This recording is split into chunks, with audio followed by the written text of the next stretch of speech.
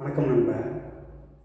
Granivorous G R A M I N I V O R O U S granivorous adjective feeding on seeds விதைகளை உண்டு வாழ்கிற கிராண்டியூவரஸ் விதைகளை உண்டு வாழ்கிற feeding on seeds விதைகளை உண்டு வாழ்கிற பெரும்பாலும் பறவைகள் விதைகளை உண்டு தான் பறவைகள் அதெல்லாம் விதைகளை உண்டு வாழ்கிறது. அது அதுக்கு பேர் கிராண்டியூவரஸ் நன்றி நண்பா. வணக்கம்.